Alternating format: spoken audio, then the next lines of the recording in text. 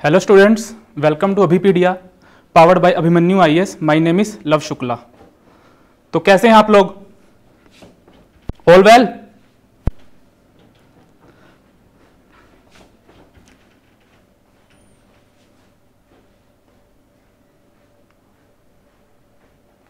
Preparation कैसे चल रही है आप लोगों की?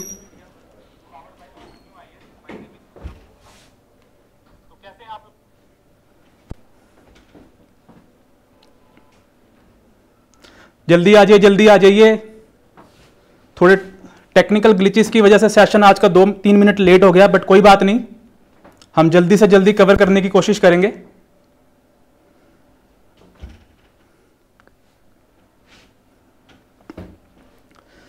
तो बच्चों, जैसे आपको पता है कि लास्ट जो हमारा सेशन हुआ था जनरल स्टडीज़ का, अभी तक हमारे साथ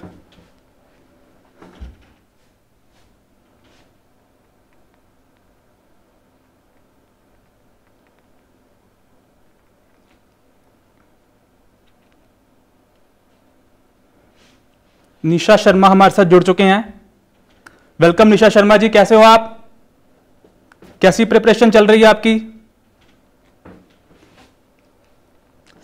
तो बच्चों, जैसे आपको पता है, हमारा जो लास्ट सेशन हुआ था वार्म अप कोर्स के में, जो कि पटवारी के लिए हम चला रहे हैं, उसमें हमने हिस्ट्री डिस्कस की थी। हिस्ट्री से रिलेटेड जतिंदर विर्क हमारे साथ जुड़ चुके हैं।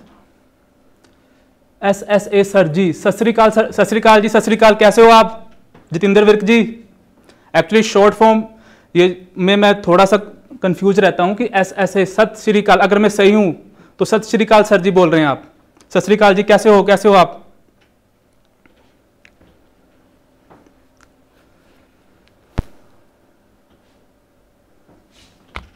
तो जैसे मैं बात कर रहा था कि हिस्ट्री के हिस्ट्री से रिलेटेड हमने एमसीक्यू डिस्कस किए थे।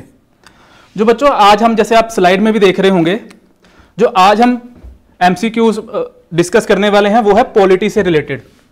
पॉलिटी।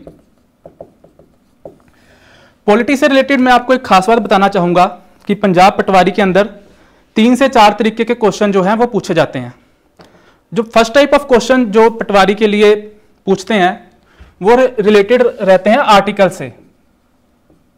कि कोई भी आर्टिकल आपको दे दिया जाएगा या कोई आर्टिकल को डिफाइन कर दिया जाएगा और आपसे पूछ लिया जाएगा कि कौन सा आर्टिकल है, बताइए। तो ये हो गया फ़र्स्ट टाइप ऑफ़ क्वेश्चन जो पूछे जाते हैं। सेकेंड टाइप ऑफ़ क्वेश्चन होता है केस से रिलेटेड कि कोई केस दे दिया आपको और आपसे पूछेंगे कि भाई बताओ, ये किस चाहे फंडामेंटल राइट से रिलेटेड है या डीपीएसपी से रिलेटेड है या सिटीजनशिप से रिलेटेड है तो इस तरीके के सेकेंड टाइप ऑफ़ क्वेश्चन होते हैं पॉलिटी के पॉलिटी में। और जो थर्ड टाइप ऑफ़ क्वेश्चन होते हैं, वो होते हैं अमेंडमेंट से रिलेटेड अमेंडमेंट कि कौन सी कॉन्स्टिट्यूशन अमेंडमेंट से कौन से सेक्शन ऐड किए गए, या कौन से सेक्शन निकाले गए, या सेक्शन को कौन से सेक्शन से निकाल के किस सेक्शन में शिफ्ट किया गया तो इस तरीके के थर्ड टाइप ऑफ़ क्वेश्चन रहते हैं।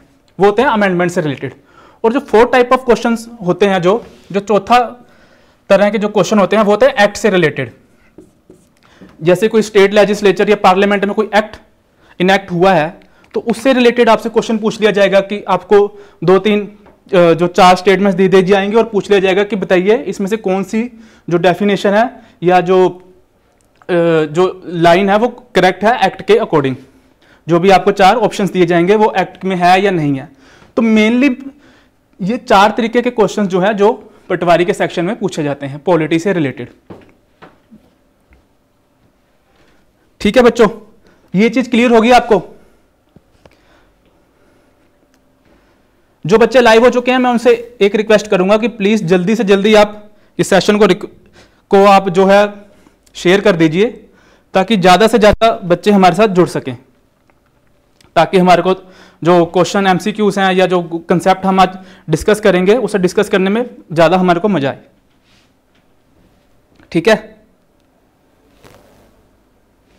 तो चलिए देखते हैं हम। आज के फ़र्स्ट एमसीक्यू से स्टार्ट करते हैं। तो यह है मोटिवेशनल कोट अब मोटिवेशनल कोट स्टार्टिंग में रखने का मेरा यही कारण था कि कुछ बच्चे अभी तक थोड़े से मोटिवेटेड नहीं रह पाते कि उनको ये लगता है कि अभी तक नोटिफिकेशन नहीं आई सर जब तक नोटिफिकेशन नहीं आएगी, तब तक हमारे अंदर मोटिवेशन नहीं आ सकती। तो इसलिए मोटिवेशन के लिए, आपकी मोटिवेशन के लिए ये कोड में रखा है स्टार्टिंग में कि your positive action combined with positive thinking result in success कि बच्चों, अपनी जो थिंकिंग है, उसको पॉजिटिव रख के चलो कि नोटिफिकेशन निकलेगी। नोटिफिकेशन निकलने का इंतज़ार नहीं करना। नोटिफिकेशन निकलने से पहले अपने आप को इतना तैयार कर लेना है कि नोटिफिकेशन निकलने के बाद हम सिर्फ़ एमसीक्यू और जो हम कोर्स जो पढ़ रहे हैं, उसको मल्टीपल ऑफ़ टाइम्स जो है उसको हम रिवाइज कर सकें, ना कि हम कुछ नया स्टार्ट करें। तो मोटिवेशनल कोट जो है, ये इसलिए रखा गया कि बच्चों को थोड़ा सा वो इंस्पायर हो सकें, क्योंकि बच्चे जब तक नोटिफिकेशन नहीं आती, तब तक वो तैयारी नहीं स्टार्ट करते अपनी। ठीक है?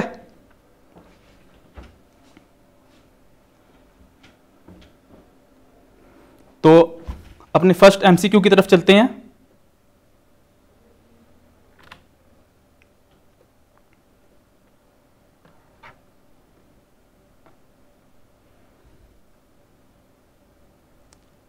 जल्दी से शेयर कर दो बच्चों।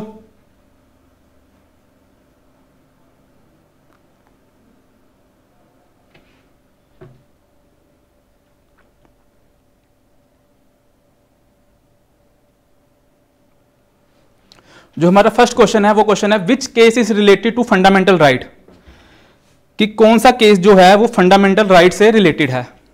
Option A is Golaknath versus State of Punjab option B is Indira Sawhney versus Union of India option C is State of Bombay versus Balsara and option D is West Bengal versus Union of India तो जल्दी से answer कीजिए कि कौन सा case जो है, वो फंडामेंटल राइट से रिलेटेड है।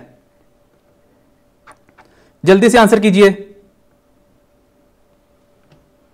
कि which case is related to fundamental right option A is Golaknath versus State of Punjab option B is Indira Sawhney versus Union of India Gagan Cheema ji बोल रहे हैं option B Indira Sawhney versus Union of India ठीक है? जो बच्चे live हैं बच्चों answer किया करो, चाहे गलत हो, चाहे सही हो। मैंने आपको लास्ट सेशन में भी बोला था, जो कुछ गलतियाँ हमने करनी है, वो इसी यहीं पर कर लेनी है ताकि एग्ज़ाम में जाके हमारे को इस चीज़ का पछतावा ना हो कि हमने उस वक्त आंसर नहीं दिए। जितने गलत आंसर देने हैं जो भी करना है, हमने इसी सेशन में कर लेना है। क्योंकि जो एग्ज़ाम में जाके हमें कोई गलती नहीं करनी, जितने भी आंसर वहाँ पे टिक करने हैं, वो करेक्ट आंसर ही करके आने हैं। सारे गलत आंसर हमने यही कर देने हैं। तो गगन चीमा जी बोल रहे हैं ऑप्शन बी निशा शर्मा बोल रही हैं ऑप्शन बी तो इसका करेक्ट आंसर देख लेते हैं। इसका करेक्ट आंसर है ऑप्शन ए तो 1967 में Golaknath versus State of Punjab case में सुप्रीम कोर्ट ने यह बोला था कि पार्लियामेंट जो है वो फंडामेंटल राइट को कटेल नहीं कर सकता। फंडामेंटल राइट से रिलेटेड इंपॉर्टेंट थ्री केसेस हैं। जो फ़र्स्ट केस है, वो है A K Gopalan case. Second question is second जो जो मोस्ट इंपॉर्टेंट जो केस है फंडामेंटल राइट से related he, Kesavananda Bharati case. Kesavananda, Bharati case. Third case is जिसको हम डिस्कस कर रहे हैं, Golaknath case. And fourth is Minerva mill case. ये चार इंपॉर्टेंट केसेस हैं जो कि फंडामेंटल राइट से रिलेटेड हैं। प्रियंका शर्मा भी बोल रही हैं B the correct answer is option A Kesavananda, Bharati case तो लैंडमार्क केस है। पूरी इंडियन पॉलिटी की जो हिस्ट्री है इंडियन कॉन्स्टिट्यूशन की 1950 से लेकर अभी तक, इसको बेसिक स्ट्रक्चर का जो डॉक्ट्राइन दिया गया था बेसिक स्ट्रक्चर का बेसिक स्ट्रक्चर का जो डॉक्ट्राइन था, वो भी इसी केस से आया था। तो ये केस इसलिए भी इंपॉर्टेंट हो जाता है कि जब आपसे वो, ये पूछें कि which of the following case related to basic structure of the basic structure doctrine कि बेसिक स्ट्रक्चर डॉक्ट्राइन किस केस से रिलेटेड है? तो करेक्ट आंसर होगा, वो होगा Kesavananda Bharati case. New south movie in Hindi. ये बोल रहे हैं ऑप्शन ए। तो आंसर तो हमने देख लिया है आंसर इज़ ए। तो चलिए देखते हैं, नेक्स्ट क्वेश्चन जो है।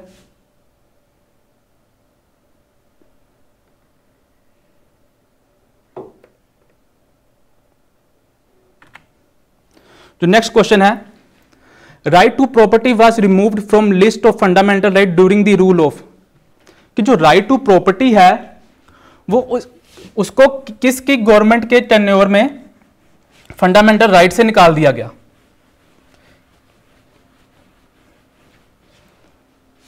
Right to property was removed from list of fundamental right during the rule of option A is Indira Gandhi government option B is Morarji Desai government option C is narasimha rao government. And option d is vajpayee government. तो जल्दी से answer कीजिए कि right to property को fundamental right से किसके rule के time पर निकाल दिया गया था? Option A is Indira Gandhi government option B is Morarji Desai government option C is Narasimha Rao government and option D is Vajpayee government तो जल्दी से आंसर कीजिए।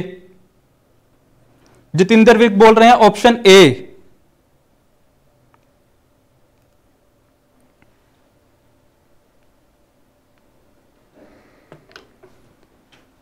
जल्दी से आंसर करो बच्चों, कि right to property was removed from list of fundamental right during the rule of option A is Indira Gandhi government option B is Morarji Desai government option C is Narasimha Rao government and option D is Vajpayee government Gagan Cheema भी बोल रहे हैं option A. तो चलिए इसका correct answer देख लेते हैं। The correct answer is option B Morarji Desai साहब की गवर्नमेंट में जो हमारे प्राइम मिनिस्टर थे forty fourth constitutional amendment forty fourth constitutional amendment के साथ जो राइट टू प्रॉपर्टी था इसको फंडामेंटल राइट से निकाल के राइट टू प्रॉपर्टी को फंडामेंटल राइट से निकाल के लीगल राइट बना दिया गया था। लीगल राइट बना दिया गया था आर्टिकल 300 ए में। ठीक है? Priyanka Sharma option B Singh 1983 option A तो answer is the correct answer is option B तो चलिए अपने नेक्स्ट क्वेश्चन की तरफ़ चलते हैं।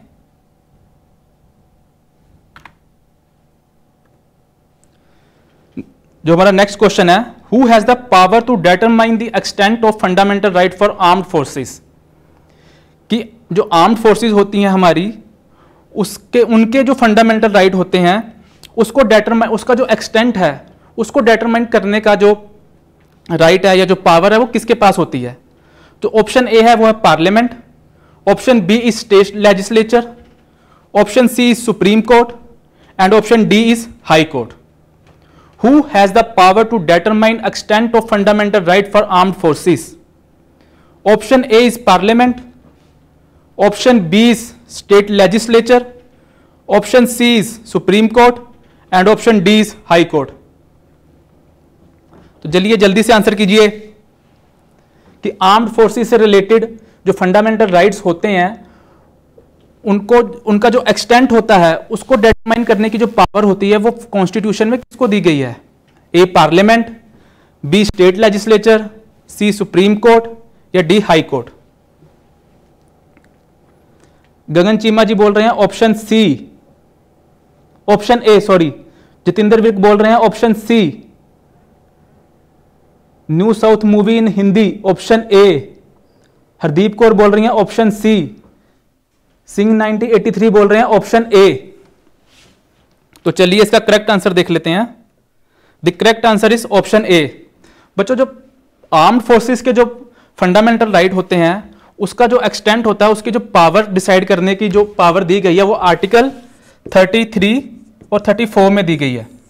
जिसका जो राइट होता है, वो पार्लियामेंट के पास होता है स्टेट लेजिस्लेचर के पास नहीं होता। इसमें ये सबसे ये बहुत इंटरेस्टिंग पॉइंट है। इसको आप देखना स्टेट लेजिस्लेचर के पास जो आर्म्ड फोर्सेस के जो फंडामेंटल राइट होते हैं, उसको डिसाइड उसको, उसका जो एक्सटेंट होता है, उसको डिसाइड करने की पावर सिर्फ़ पार्लियामेंट के पास है। सुप्रीम कोर्ट भी नहीं है उसका आंसर ऑप्शन जो correct answer is option A इसका एक्सप्लेनेशन पढ़ लेते हैं। Article 33 and 34 empower the parliament to restrict modify और abrogate the fundamental right to the member of armed forces paramilitary forces police forces member of intelligence agencies और similar services ठीक है?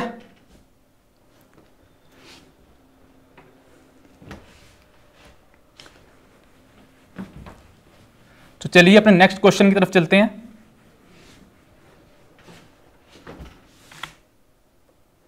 The next question is the constitution of India was amended for the first time in which year option A is 1961 option B is 1960 option C is 1951 and option D is 1954 कि जो हमारा India का जो संविधान है, उसको first time किस year में अमेंड किया गया था?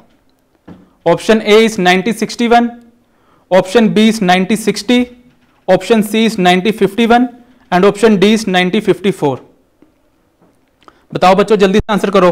जो बच्चे हमारे साथ अभी जुड़े हैं वो प्लीज़ जल्दी से इस सेशन को शेयर कर दीजिए ताकि और बच्चे भी हमारे साथ जल्दी से जल्दी जुड़ सकें। हमारे पास आंसर आने शुरू हो गए हैं।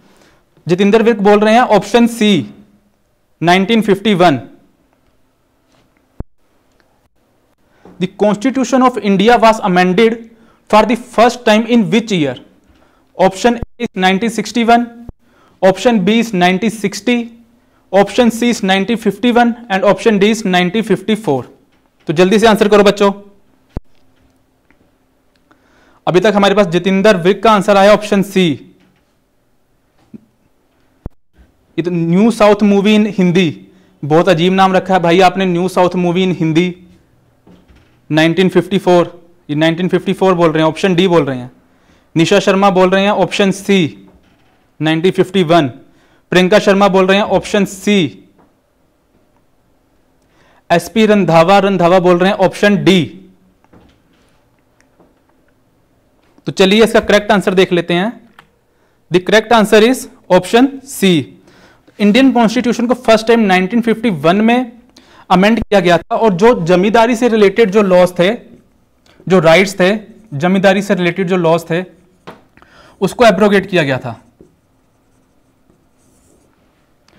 और जो हमारे फ़र्स्ट जो ये जो टेन्योर था उस टाइम तो आपको पता होगा कि जो हमारे फ़र्स्ट प्राइम मिनिस्टर थे, वो थे Pandit Jawaharlal Nehru.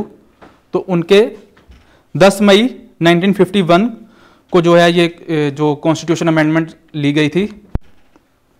The correct answer is option C ठीक है? अर्शदीप शर्मा ऑप्शन सी चलिए let's move to our next question which of the following is called the popular chamber option A is Rajya Sabha option B is Gram Sabha option C is Lok Sabha and option D state assembly कि popular chamber किसको बोला जाता है हमारे followings में? हमारे जो संविधान है, जो इंडिया में पॉपुलर चैम्बर के नाम से किसको जाना जाता है? Option A Rajya Sabha option B Gram Sabha, option C Lok Sabha and option D state assembly तो जल्दी से आंसर कीजिए कि which of the following is called the popular chamber option A is Rajya Sabha option B is Gram Sabha option C is Lok Sabha and option D is state assembly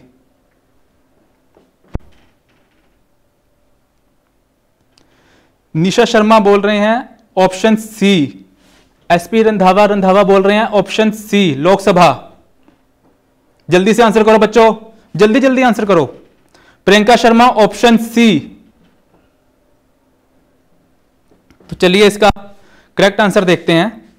The correct answer is option C तो आपका answer बिल्कुल सही था, निशा शर्मा जी। प्रियंका शर्मा, आपका answer Jitendra Virk, आपका answer आप सभी बच्चों का आंसर बिल्कुल सही था। तो Lok Sabha lower house of popular chamber because it has comparatively more power in legislation and its members are elected by direct election तो बच्चों, जैसे आपको पता है मेंबर ऑफ़ पार्लियामेंट के इलेक्शन होते हैं लोकसभा से रिलेटेड जो कि अभी होकर हटे हैं, जिसमें हम डायरेक्ट जो है, जो जो सिटीजन होते हैं, वो वोट करके आते हैं।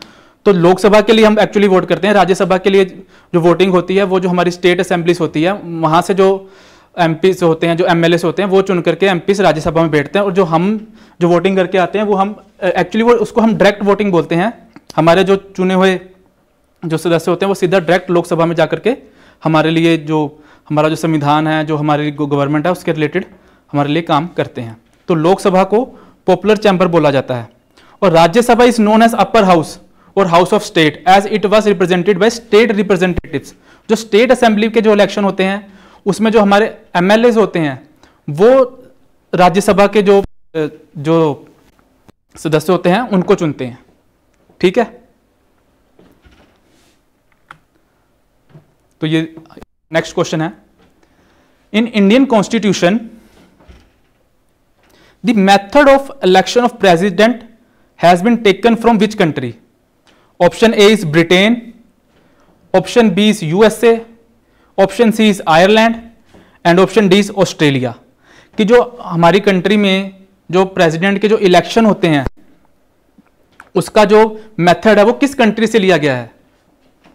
Option A is Britain, option B is USA, option C is Ireland and option D is Australia. जल्दी से आंसर कीजिए। In Indian constitution the method of election of president has been taken from which country option A is Britain option B is USA option C is Ireland and option D is Australia Jitendra Virk बोल रहे हैं option A Britain okay Indian constitution में जो election जो president का जो election जो method है, वो किस कंट्री से लिया गया है? Option A is Britain option B is USA option C is Ireland and option D is Australia Mandeep Kaur Hans भी बोल रहे हैं ऑप्शन ए चलिए इसका करेक्ट आंसर देख लेते हैं। Correct answer is option C Ireland से लिया गया बच्चों। जो मेथड है इलेक्शन ऑफ़ प्रेसिडेंट का इंडिया में, वो आयरलैंड से लिया गया है। जो रामनाथ कोविंद है, वो हमारे कंट्री के फोर्टींथ प्रेसिडेंट है ऑफ़ इंडिया ठीक है? तो चलिए अपने नेक्स्ट क्वेश्चन की तरफ़ मूव करते हैं। और next question is which of the following articles articles cannot be suspended even during emergency option A is article 18 and 19 option B is article 20 and 21 option C is article 22 and 23 and option D is article 24 and 25 कि emergency के time पे national emergency specific मैं बोलूँगा national emergency के time पे कौन से articles जो हैं वो सस्पेंड नहीं होते? Option is article 18 and 19 option B is article 20 and 21 option C is article 22 and 23 and option D is article 24 and 25 तो जल्दी से आंसर करो।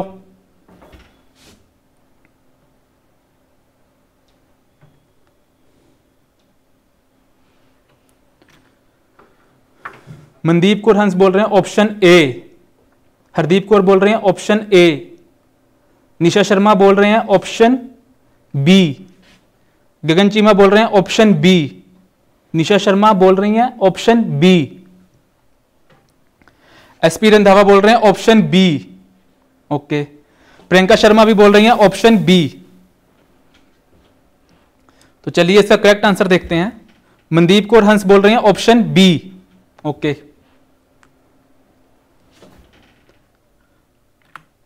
तो बच्चों, आपका आंसर बिल्कुल सही है ऑप्शन बी है आर्टिकल 20 एंड 21 तो नेशनल इमरजेंसी का प्रोविज़न है नेशनल इमरजेंसी आपको पता होगा, हमारे कॉन्स्टिट्यूशन में थ्री टाइप्स ऑफ़ इमरजेंसी जो है, वो दी गई है। First is national emergency, second is president rule president rule. इसको स्टेट इमरजेंसी भी बोल देते हैं, स्टेट इमरजेंसी। और इसको कॉन्स्टिट्यूशनल इमरजेंसी भी बोल देते हैं, कॉन्स्टिट्यूशनल इमरजेंसी।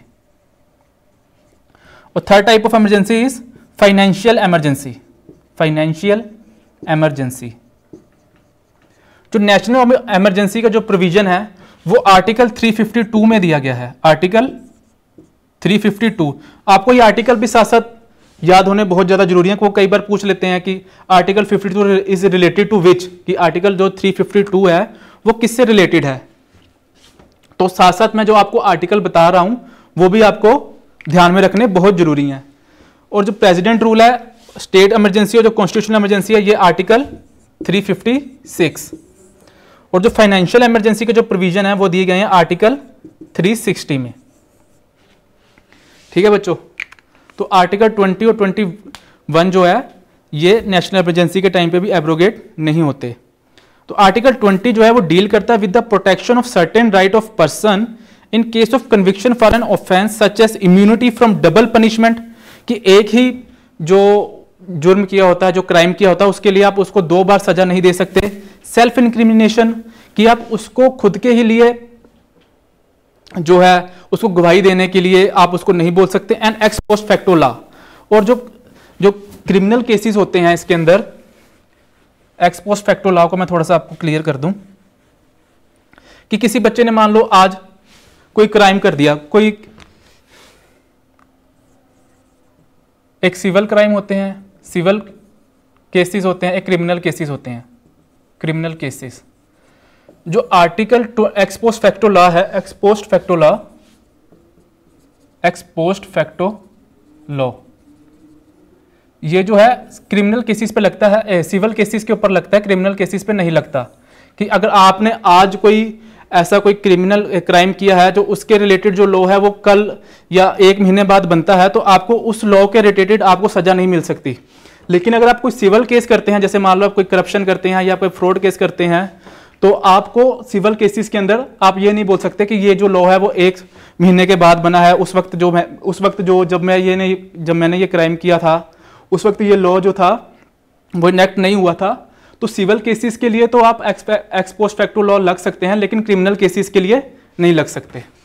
तो ये बहुत ही इंपॉर्टेंट चीज़ है जो आपको ध्यान में रखनी है एक्सपोस्ट फैक्टो लॉ तो आपको डायरेक्ट भी क्वेश्चन पूछा जा सकता है कि एक्स पोस्ट फैक्टर लॉ क्या होता है या किस रिलेटेड आपको चार स्टेटमेंट दे दी जाएँगी तो उसको आपको बताना होगा। ठीक है? चलिए अपने नेक्स्ट क्वेश्चन की तरफ़ चलते हैं। The Sharda act is related to कि जो शारडा एक्ट था वो किस चीज़ से रिलेटेड है? Option A is upliftment of schedule tribe option B is upliftment of minorities option C is child marriage and option D is empowerment of women this Sharda act is related to option A is upliftment of schedule tribes option B is upliftment of minorities option C is child marriage and option D is empowerment of women तो जल्दी से answer कीजिए। जितेंद्र विर्क का answer आ गया हमारे पास option C. Okay. Jitendra Virk बोल रहे हैं ऑप्शन सी। एसपी रंधावा बोल रहे हैं ऑप्शन सी। निशा शर्मा बोल रही हैं ऑप्शन सी। जल्दी आंसर करो बच्चों, जल्दी। अभी आगे हमने बहुत क्वेश्चन करने हैं। प्रियंका शर्मा बोल रही है option C. Nisha Sharma child marriage okay option C बोल रहे हैं। ऐश शर्मा बोल रहे हैं option C child marriage Mandeep Kaur Hans बोल रहे हैं option C new south movie in Hindi बोल रहे हैं ऑप्शन सी ओके नाम बहुत कमाल का रखा है भाई आपने new south movie in Hindi ठीक है। तो इसका करेक्ट आंसर देखते हैं। बच्चों, आपका आंसर बिल्कुल सही है। ऑप्शन सी शारदा के साथ 1920 में आया था चाइल्ड मैरिज से रिलेटेड और इसमें जो एज थी, वो गर्ल के केस में 14 ईयर और बॉयज़ के केस में 18 ईयर फिक्स कर दी गई थी। तो टाइप ऑफ़ क्वेश्चन तो मैं आपके साथ स्टार्टिंग में डिस्कस कर चुका हूँ। जो बच्चे हमारे साथ बाद में जुड़े हैं, वो प्लीज़ बाद में जो वीडियो है, वो आप देख सकते हैं कि मैंने आपको बताया, इन बताया था कि फोर टाइप ऑफ़ क्वेश्चन जो है पूछे जाते हैं। ठीक है तो उससे रिलेटेड ही कुछ क्वेश्चन जो है हम एमसी कुछ फॉर्म में डिस्कस कर रहे हैं। ठीक है? अगर आपको सेशन अच्छा लग रहा है आपको मज़ा आ रहा है पढ़ने में तो प्लीज़ जितना ज़्यादा हो सके आप सेशन को शेयर कीजिए। अगर आप चैनल पर न्यू है न्यू हैं और आपने अब तक चैनल को सब्सक्राइब नहीं किया है तो प्लीज़ आप सब्सक्राइब भी कीजिए। ताकि जो भी, जो पंजाब या पंजाब जो स्टेट गवर्नमेंट से रिलेटेड कोई भी नोटिफिकेशन होगी, वो आपको मिल सकती है। तो चलिए, अपने नेक्स्ट क्वेश्चन की तरफ़ चलते हैं। Our next question is which among the following was described by doctor B R Ambedkar as the heart and soul of the constitution of india? Option a is freedom of religion. B is right to constitutional remedies option C is right to equality option D is right to move throughout the territory of India कि doctor B R Ambedkar sahab ने heart and soul of the constitution किस article को बोला था? किसको describe किया था? Option is freedom of religion. क्या वो धर्म से रिलेटेड जो निष्पेक्षता थी वो था? Right to constitutional remedies right to equality या D right to move throughout the territory of India तो जल्दी से आंसर कीजिए। एस शर्मा बोल रहे हैं option A okay Gagan Cheema बोल रहे हैं ऑप्शन बी जितेंद्र विर्क बोल रहे हैं ऑप्शन बी मनदीप कौर हंस बोल रहे हैं option B right to constitutional remedies new south movie in Hindi बोल रहे हैं ऑप्शन ए ओके जल्दी से आंसर करो बच्चों से शाबाश. एसपी रंधावा बोल रहे हैं ऑप्शन सी निशा शर्मा बोल रहे हैं ऑप्शन बी तो मोस्टली प्रियंका शर्मा भी बोल रही हैं ऑप्शन बी तो बच्चों मोस्टली बच्चों का जो आंसर है वो बिल्कुल करेक्ट है। राइट टू कॉन्स्टिट्यूशनल रेमेडीज को डॉक्टर साहब ने जो आर्टिकल 32 में राइट टू कॉन्स्टिट्यूशनल रेमेडीज हैं article 32 right to constitutional remedies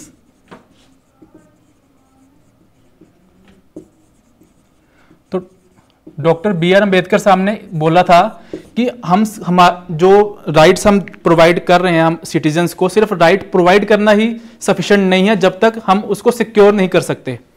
तो आर्टिकल 32 में हमारे को डिफरेंट टाइप्स ऑफ़ रिट्स मिलती हैं, जिसके, जिसमें जब भी हमारे जो फंडामेंटल राइट्स हैं, वो हमसे छीने जाते हैं तो हम डायरेक्ट सुप्रीम कोर्ट या हाई कोर्ट में जा सकते हैं। तो इसलिए राइट टू कॉन्स्टिट्यूशनल रेमेडीज को जो है soul and heart heart and soul of the constitution बोला जाता है। ठीक है? इट इसकी अब एक्सप्लेनेशन पढ़ लेते हैं, जैसे मैंने आपको बताया आर्टिकल 32 में तो आगे देखते हैं कि it was made so because declaration of fundamental right without an effective machinery for enforcement of fundamental right would have meaningless means कि सिर्फ़ डिक्लेयर कर देना फंडामेंटल राइट right को दे दिया लेकिन उसके एनफोर्समेंट और उसके अफेक्टिव मशीनरी उनको बचाने के लिए जब जब जो स्टेट है वो हमारे को जो हमारे से फंडामेंटल राइट वापस ले रही है तो उसके लिए इफ़ेक्टिव मशीनरी देना भी जो है वो बहुत ज़रूरी है। तो इसलिए आर्टिकल 32 को heart and soul of the constitution बोला जाता है। नेक्स्ट क्वेश्चन की तरफ़ चलते हैं। अब next question is which article is related to equal justice and free legal aid कि कौन सा जो आर्टिकल है जिसके अकॉर्डिंग कॉन्स्टिट्यूशन जो है, हमारे को इक्वल जस्टिस और फ्री लीगल एड प्रोवाइड करता है। Option is article 39 option B is article 39 A option C is article 43 and option D is article 43 A which article is related to equal justice and free legal aid option A is article 39 option B is article 39 A option C is article 43 and option D is article 43 A तो जल्दी से answer करो। मनदीप कौर हंस बोल रहे हैं option B SP Randhawa बोल रहे हैं option C new south movie in Hindi बोल रहे हैं ऑप्शन ए निशा शर्मा बोल रहे हैं ऑप्शन बी प्रियंका शर्मा बोल रहे हैं ऑप्शन बी अर्शदीप शर्मा बोल रहे हैं ऑप्शन सी एसपी रंधावा बोल रहे हैं ऑप्शन बी ओके वो लास्ट आंसर होगा शायद, जिसका मैं सॉरी अगर गलत पड़ गया हूँ। एसपी रंधावा बोल रहे हैं option B okay Mandeep Kaur Hans बोल रहे हैं option B new south movie in Hindi बोल रहे हैं article 43 option C Nisha Sharma बोल रहे हैं option B article 39 A okay जल्दी से आंसर करो, शाबाश। आंसर करो जल्दी जल्दी। डरा मत करो कि कुछ गलत हो गया, कि यहाँ पे कुछ, आपको कुछ कोई बोलने नहीं वाला, कि आपका एग्ज़ाम ऐसा नहीं होगा कि आपको यहाँ पे एग्ज़ाम नहीं क्लियर होगा। हाँ लेकिन एग्ज़ाम में जाके क्वेश्चन गलत करके नहीं आना। हमारा मेन मोटो यही है यहाँ पर आके क्वेश्चन फॉर्मेट में, जो मेन आर्टिकल है, उनको डिस्कस करने का। जो गलतियाँ करनी है, यही कर देनी है सारी। एग्ज़ाम तक हमारी कोई गलती नहीं जानी चाहिए। अर्शदीप शर्मा बोल रहे हैं ऑप्शन बी। तो चलिए इसका करेक्ट आंसर देख लेते हैं। ऑप्शन बी, बच्चों, आपका आंसर मेनली बच्चों का आंसर जो है बिल्कुल सही है। The correct answer is option B article thirty nine के अंदर हमारे को स्पेसिफाइड प्रोविजंस जो पॉलिसी है, जो जो स्टेट को जो बोलती हैं, जो पॉलिसीज़ हैं, कि certain principle of policies to followed by state option A answer is that the citizen men and women equally have the right to an adequate means to livelihood 39 provision b is the that the ownership and control of the material resources of the community are so distributed as best to subserve the common good and article जो 33 है बच्चों वो living wage से related है free legal aid और equal justice है उसके लिए आर्टिकल 39 ए तो अपने नेक्स्ट क्वेश्चन की तरफ़ मूव करते हैं।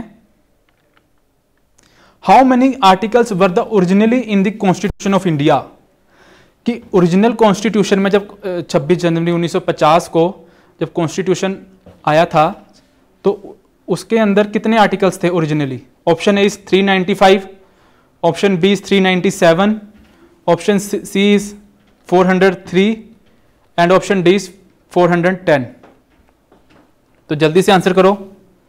How many articles were the originally in the constitution of india option a is 395 option b is 397 option c is 403 and option d is 410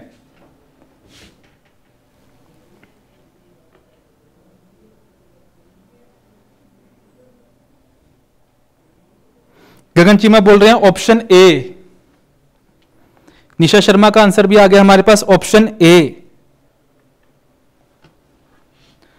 Jatinder Virk बोल रहे हैं, ऑप्शन ए मनदीप कौर का आंसर भी आ गया है, option A okay very good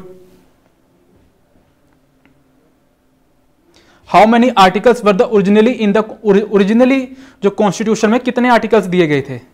Option A is 395 option B is 397 option C is 403 option D is 410 Priyanka Sharma बोल रहे हैं ऑप्शन ए एसपी रंधावा बोल रहे हैं option A new south movie in Hindi बोल रहे हैं ऑप्शन बी तो चलिए इसका करेक्ट आंसर देखते हैं. The correct answer is option A 395 जो आर्टिकल्स थे, जो ओरिजिनल कॉन्स्टिट्यूशन में 395 आर्टिकल्स थे. नेक्स्ट क्वेश्चन की तरफ़ चलते हैं. Which of the following articles of the constitution of india is related to uniform civil code?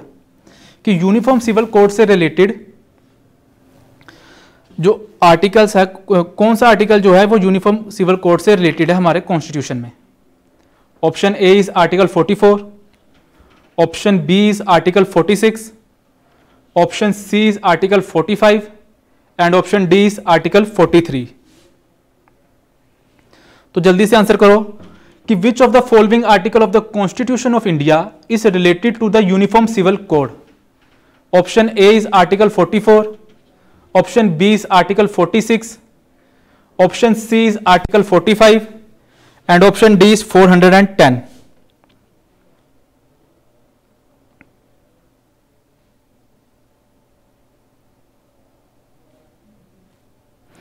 Nisha Sharma का आंसर है option C SP Randhawa Randhawa का आंसर है ऑप्शन ए, प्रियंका शर्मा का आंसर है ऑप्शन ए। प्रियंका शर्मा का आंसर, फिर से प्रियंका शर्मा। प्रियंका शर्मा, आप दो दो आंसर कर रहे हैं क्या? Message retracted okay Jitendra Virk का answer option C. Okay Mandeep Kaur Hans का answer option C. New south movie in Hindi option A.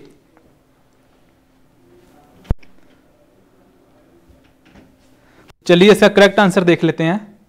The correct answer is option A जो आर्टिकल 44 है, वो डील करता है यूनिफॉर्म सिविल कोड के साथ, जो कि हमारे directive principle of state policy DPSP में दिया गया है which is not justify justiciable बच्चों, जो हमारे directive principle of state policy के, वो जस्टिसेबल नहीं है। जो यहाँ पर जो मेन कैचवर्ड है, आपके लिए वो है जस्टिसेबल कि जब भी हमारे फंडामेंटल राइट को, की वायोलेशन होती है तो हम डायरेक्ट सुप्रीम कोर्ट या हाई कोर्ट जा सकते हैं। लेकिन जब डीपीएसपी से रिलेटेड कुछ ऐसा केस होता है तो हम किसी भी कोर्ट को अप्रोच नहीं कर सकते। Because they are not justiciable okay clear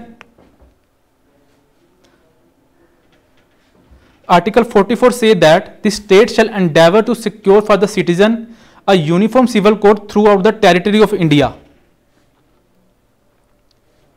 तो ये आर्टिकल 44 जो है यूनिफॉर्म सिविल कोड से रिलेटेड है अपने नेक्स्ट क्वेश्चन की तरफ़ मूव करते हैं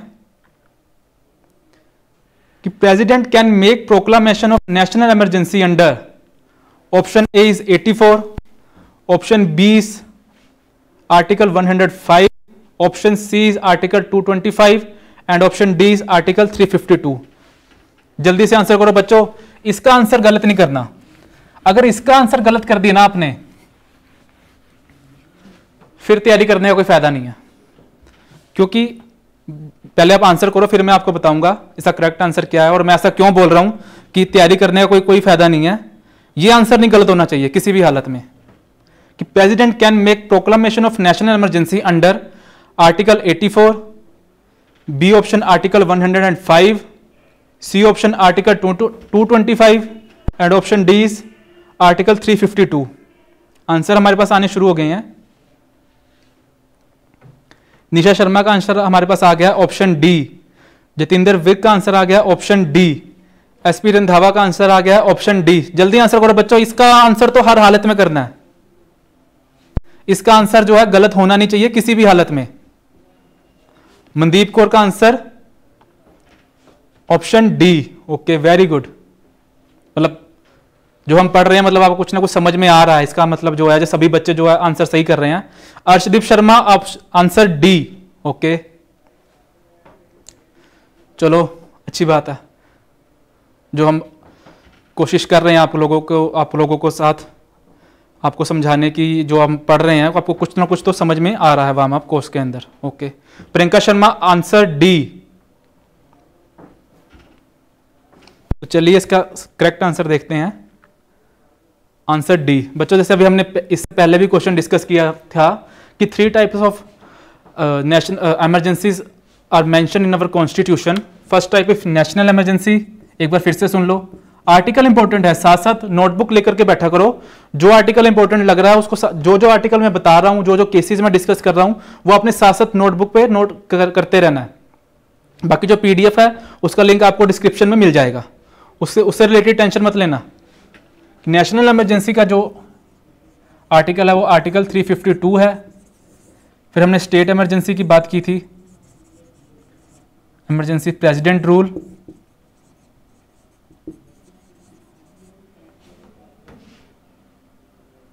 आर्टिकल 356 और जो first this is second president rule भी बोलते हैं स्टेट इमरजेंसी आर्टिकल 356 और जो थर्ड था वो था financial emergency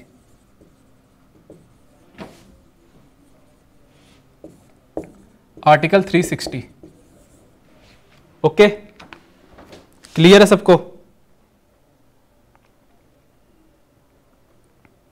तो चलिए अपने नेक्स्ट क्वेश्चन की तरफ़ मूव करते हैं। Our next question is, under the constitution of India, who are the ultimate sovereign? कि हमारे इंडियन कॉन्स्टिट्यूशन में अल्टीमेट सोवरन कौन है? Option A is Indian people option B is prime minister of India option C is president of India and option D is all elected leaders of India जल्दी से answer करो कि under the constitution of India who are the ultimate sovereign option A is Indian people option B is prime minister of India option C is president of India and option D is all elected leaders of India जल्दी से answer करो।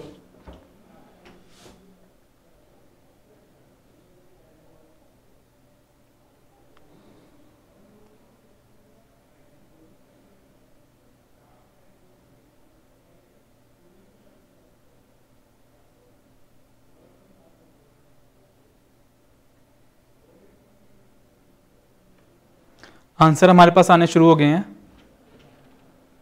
Nisha Sharma option A, Indian people. Ash Sharma, option C, president of India. New south movie in Hindi, option A.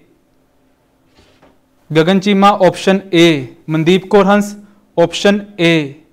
Priyanka Sharma, option A. Jatinder Virk, option A. जल्दी से answer करो।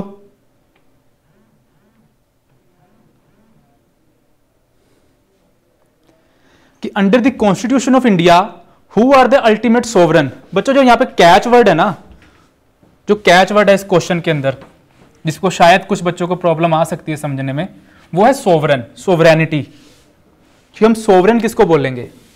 Sovereign जो catch word है ना, वो है sovereign इस इस क्वेश्चन के अंदर। उसको समझना बहुत ज़रूरी है। सोवरन हम उसको बोलते हैं कि जो हमारे इंटरनल और जो हमारे एक्सटर्नल अफेयर्स हैं, वो कंप्लीटली इंडिपेंडेंट हो।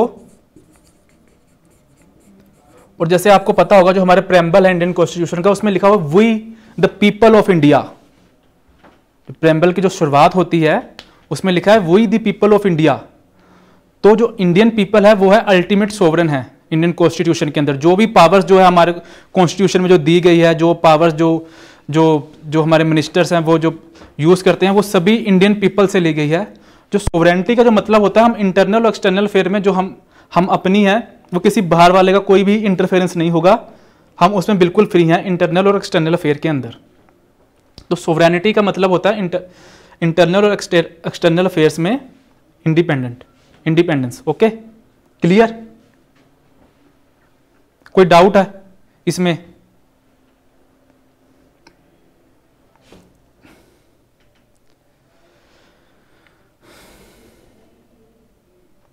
तो चलिए अपने नेक्स्ट क्वेश्चन की तरफ़ मूव करते हैं।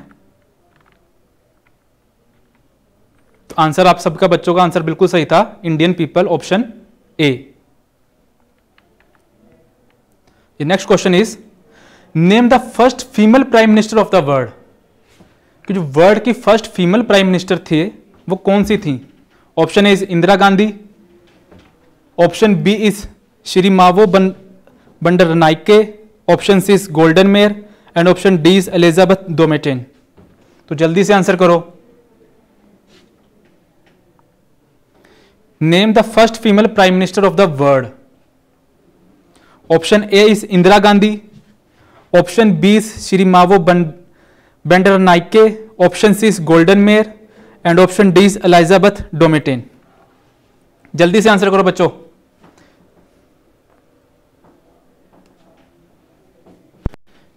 First female prime minister world के कौन थी? तो ऑप्शन हमारे पास आंसर आ गया है जितेंद्र विर्क का। जितेंद्र विर्क बोल रहे हैं option B okay Priyanka Sharma भी बोल रही हैं ऑप्शन बी निशा शर्मा बोल रही हैं option A new south movie in Hindi बोल रहे हैं option A Indira Gandhi okay तो चलिए इसका करेक्ट आंसर देख लेते हैं। Correct answer is option B बच्चों फ़र्स्ट वुमेन प्राइम मिनिस्टर थे वर्ल्ड के वो थे श्री मावो भंडारी के, जो कि श्रीलंकन प्राइम मिनिस्टर थी। और थ्री टर्म्स के लिए इन्होंने सर्व किया था 1960 1965 तक 1970 से 1977 तक और 1994 से 2000 तक।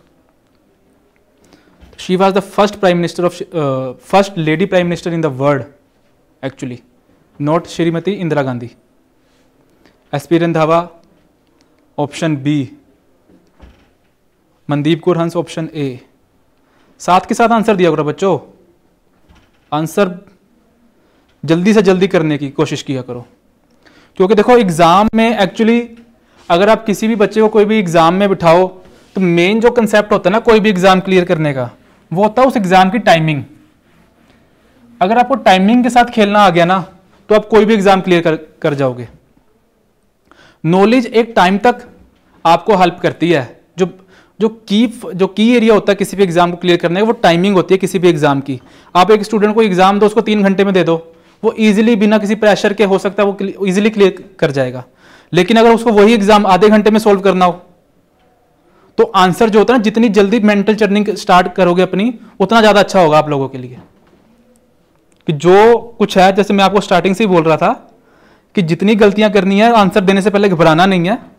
जो मन में आ रहा है, जो फ़र्स्ट इंस्टिंक्ट में जो आंसर आ रहा है, वो यहाँ पर देना है। तभी तो हमारे को पता लगेगा कि हमारी गलतियाँ किस तरफ़ हो रही हैं। कि किस टाइप कौन किस तरह के क्वेश्चन है, जिसके अंदर हमारी जो इंस्टिंक्ट है वो बिल्कुल सही बैठ रही है और किस तरह के क्वेश्चंस में हमारी इंस्टिंक्ट जो सही नहीं बैठ रही है। तो उस केस के अंदर हमारे को जिस क्वेश्चन के अंदर हमारी इंस्टिंक्ट जो है वो सही नहीं बैठ रही है तो हमें उस वैसे, उस टाइप के क्वेश्चन जो है हमारे को जब एग्ज़ाम में पूछे जाएँगे तो हमें उसको स्किप करना है। ठीक है? तो चलिए हम अपने नेक्स्ट क्वेश्चन की तरफ़ चलते हैं। Our next question is who was the first chief election commissioner of India कि जो फ़र्स्ट इलेक्शन कमिश्नर थे इंडिया के वो कौन थे? Option A Sukumar Sen option B T N Seshan option C Sundaram and option D is S P Sen Verma तो जल्दी से आंसर करो। Who was the first chief election commissioner of India option A is Sukumar Sen option B is T N Seshan option C is K V K Sundaram and option D S P Sen Verma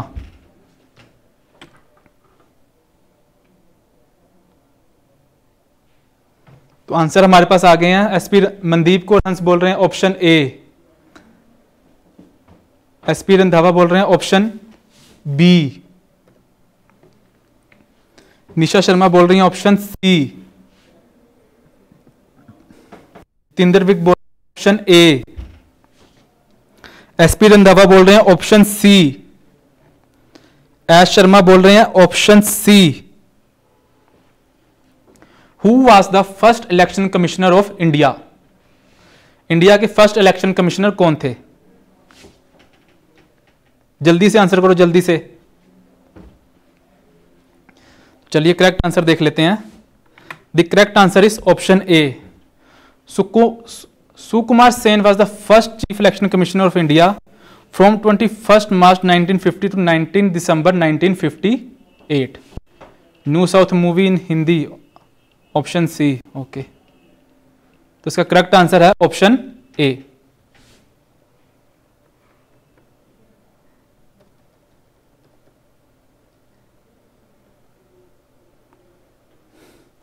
चलिए अपने next question की तरफ़ move करते हैं। कि article 19 provide six freedoms which is not among them कि article 19 के अंदर हमारे को सिक्स टाइप्स की फ्रीडम दी गई हैं। जो फॉलोइंग्स में से आपको ये ये चुनना है कि कौन सी फ्रीडम जो है आर्टिकल 19 के तहत हमें नहीं मिलती। Option A is freedom of speech and expression option B is assembly peacefully and without arms option C is form association और unions and option D is reside and settle in any part of your state only article 19 के तहत हमें कौन सी जो freedom है वो नहीं मिलती। जो यहाँ पे कैच वर्ड है, नोट करना है इस चीज़ को। नोट है। नोट। बच्चे अक्सर इस चीज़ में कंफ्यूज हो जाते हैं कि कौन सी कि वो हाँ में पूछा गया या ना में पूछा गया है। कि विच इज़ अमंग दैम और which is not among them तो इस चीज़ का बहुत ध्यान रखना। एग्ज़ाम के अंदर ये बहुत चीज़, इसकी वजह से बहुत प्रॉब्लम आती है। जो करेक्ट जो जो क्वेश्चन पूछा गया है, वो पूछा गया कि not among them option A is freedom of speech and expression option peacefully and without arms option C is form association and unions And option D is reside and settle in any part of your state only. S Sharma का answer आया option D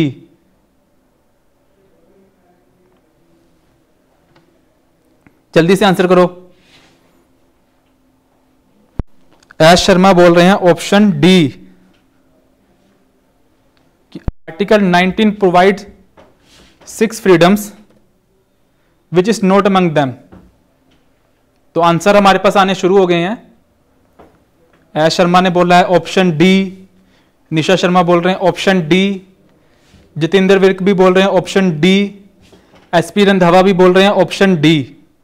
Reside and settle in any part of your state only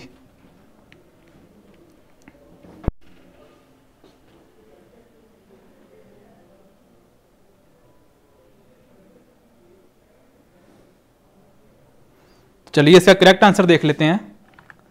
the correct answer is बच्चों, आपका answer बिल्कुल सही है। जो इसका correct answer है ऑप्शन डी है। तो आर्टिकल 19 के अंदर सिक्स टाइप ऑफ़ प्रोविजंस दिए गए हैं, जिसके अंदर हम freedom of speech and expression है प्रोविज़न वन प्रोविज़न टू है assemble peacefully and without arms जो है वो सब प्रोविज़न टू है. फॉर्म एसोसिएशन एंड यूनियंस है इसका जो थर्ड प्रोविज़न है आर्टिकल 19 में. जो फोर्थ पर प्रोविज़न है reside and settle in any part of territory of India कि हम किसी भी इंडियन टेरिटरी में जाकर के जो है सेटल और रिसाइड कर सकते हैं. और जो प्रोविज़न फाइव है move freely throughout the territory of India and option जो जो प्रोविज़न सिक्स है, वो है प्रैक्टिस एंड प्रोफेशन और to carry on any occupation trade और बिज़नेस तो चलिए नेक्स्ट क्वेश्चन की तरफ़ चलते हैं। Which article of the constitution of India provide that each Indian state will have a governor कि किस आर्टिकल के तहत हर स्टेट में एक गवर्नर होना चाहिए? Article option A is article 152 option B is article 154 option C is article 151 and option D is article 153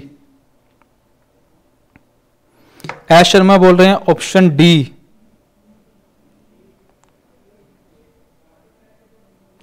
new south movie in Hindi option D SP Randhawa option D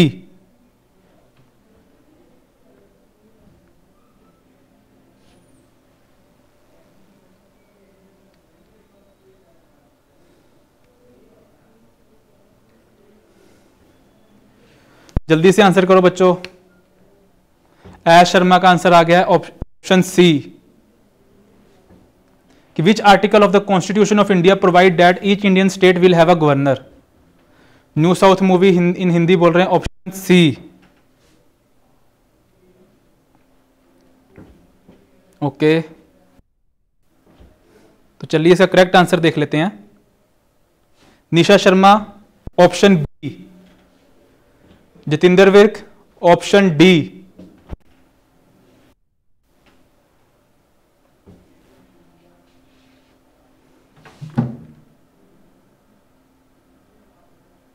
which article of the constitution of India provide that each Indian state will have a governor correct answer is option D article 153 के अंदर जो है governor होना चाहिए हर state का तो बच्चों, ये आर्टिकल आप साथ साथ नोट कर लेना अपनी नोटबुक पे कि आपको इससे रिलेटेड क्वेश्चन जो है वो पूछ पूछ सकते हैं वो। आर्टिकल बहुत इंपॉर्टेंट है, जैसे मैंने स्टार्टिंग में डिस्कस किया था कि four type of question discuss किए थे आपके साथ तो उसी के, उसी से रिलेटेड जो है क्वेश्चन हम डिस्कस कर रहे हैं। तो next question is in India which of the following article of the constitution of India provide for the formation of a new state कि किसी भी न्यू स्टेट की फॉर्मेशन के लिए किस आर्टिकल के अंदर कॉन्स्टिट्यूशन के प्रोविज़न जो है वो प्रोवाइड किए गए हैं। Option A is article nine option B is article two option C is article one and option D is article three तो जल्दी से आंसर कीजिए।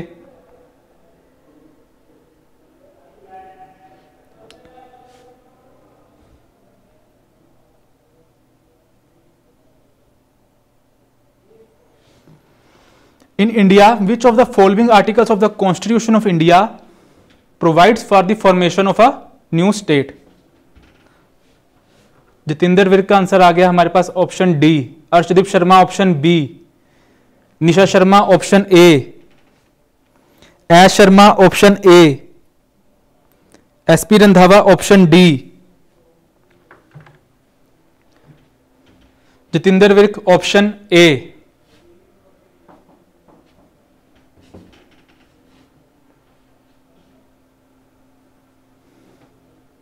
इसका करेक्ट आंसर देख लेते हैं। ऑप्शन डी आर्टिकल थ्री जो है हमारे इंडियन कॉन्स्टिट्यूशन का, वो जो प्रोविज़न प्रोवाइड करता है formation of a new state and alteration उसमें कोई किसी भी स्टेट में कोई अल्ट्रेशन भी करनी हो, जैसे आपको पता है रिसेंट स्टेट जैसे तेलंगाना बनी थी तो कॉन्स्टिट्यूशन के आर्टिकल थ्री के अंदर कुछ चेंजेस लाए थे। बाउंड्रीज और नेम ऑफ़ एग्जिस्टिंग स्टेट जो कि सिंपल मेजोरिटी से होता है simple majority in parliament simple majority ये भी आपको ध्यान रखना है, वो आपको स्पेशल मेजोरिटी बोल सकते हैं सिंपल मेजोरिटी और डिफरेंट टाइप ऑफ़ मेजोरिटी जो कि हम अगले लेक्चर में डिस्कस करेंगे जनरल स्टडीज़ के। तो सिंपल मेजोरिटी आपको ध्यान में रखना है कि सिंपल मेजोरिटी चाहिए होती है किसी भी न्यू स्टेट को बनाने के लिए पार्लियामेंट में। नेक्स्ट को नेक्स्ट क्वेश्चन की तरफ़ चलते हैं। How many types of writs are there in the Indian constitution types की जो रिट्स हैं, वो इंडियन कॉन्स्टिट्यूशन में दी गई हैं। Option A is five option B is four option C is three and option D is two तो जल्दी से आंसर कीजिए।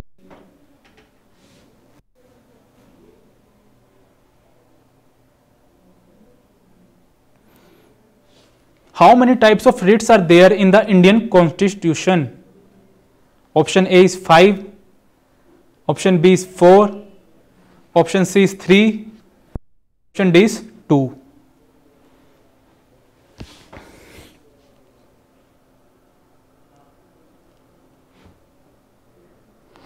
Jitendra Virk बोल रहे हैं op five okay Jitendra Virk का आंसर हमारे पास आ गया है। Five Nisha Sharma. Option A S P Randhawa option A. Okay very good जल्दी जल्दी आंसर करो। ये लास्ट क्वेश्चन है बच्चों हमारा आज का। इसके साथ हम आज का सेशन खत्म करेंगे।